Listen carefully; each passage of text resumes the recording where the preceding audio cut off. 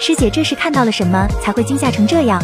工作人员赶紧把它扔了。你的是什么？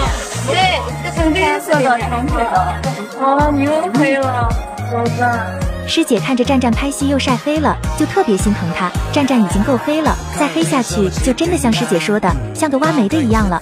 让我们俩刚才。他说你们在那个草地里面翻滚，然后掐。可惜掐脖子这段只有拍之前他们在一起对剧本的花絮，没有正式拍摄时的花絮。不过倒是拍到了魏无羡在草丛里醒来，江澄坐在草丛里，然后魏无羡起身拉起江澄手的花絮。战战就跟师姐抱怨。你好像不下这么狠的手，因为嘉诚差。那我不说呀，他肯定坐在我身上，真懵。不要再说。哎，你真的坐在我身上的呀？